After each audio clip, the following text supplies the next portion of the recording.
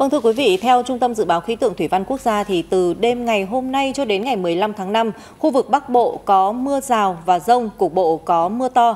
Các tỉnh từ Thanh Hóa đến Thừa Thiên Huế thì trời nắng có nơi nắng nóng, riêng từ Thanh Hóa đến Hà Tĩnh thì từ đêm nay sẽ có mưa rào và rông rải rác, cục bộ có mưa to. Thời gian mưa tập trung vào lúc chiều tối và đêm.